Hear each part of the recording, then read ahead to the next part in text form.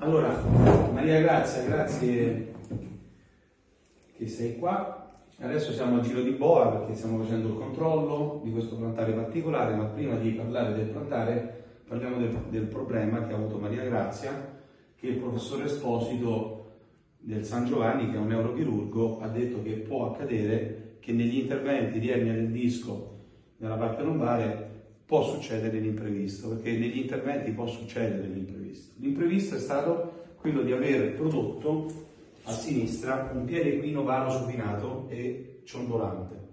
Equino vuol dire che sta giù così, varo, supinato, ciondolante e quindi non ha né energia e è piegato verso l'esterno e sta in basso.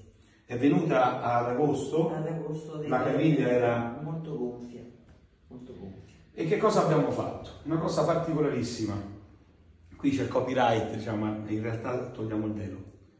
Abbiamo dato una sorta di propulsione nella parte posteriore per far sì che il piede ciondolante andasse avanti, un, una, un contenimento sulla parte laterale per impedire al piede di andare fuori, una forma a barchetta per dare la deambulazione che lei non può più avere sul piede sinistro, l'immissione del carbonio per eh, non far eh, torcere il plantare e farlo viziare.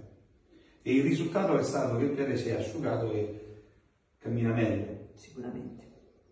Ecco, quindi la medicina mh, non è solo chirurgica, è preventiva, è sintomatologica, ma anche compensativa. E allora mh, possiamo dire che è un'opera d'arte, ma non per elevarci, perché è l'ingegno umano che va a sostegno del corpo per permetterci di stare meglio. Grazie. Prego.